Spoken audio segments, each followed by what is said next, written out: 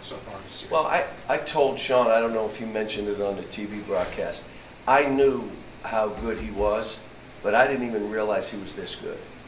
The biggest thing in this, and it's a great lesson, uh, Lon Kruger, who I have unbelievable respect for, basically said, we're going to play through you, it's all going through you, you're going to shoot when you want, you're going to, and he did not lie. He did not lie. What he told that kid, it's kind of like Bobby Cremins, who used to recruit at Georgia Tech.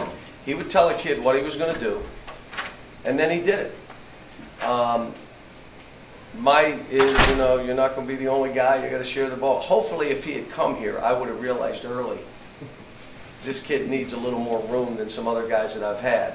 Hopefully, I would have realized that. Um, but I knew he was good, which is why we recruited him so long. But I didn't realize he'd be able to do what he's doing, which is basically 80% of their baskets, 70% of their baskets, he either scores or assists. That's a ridiculous number.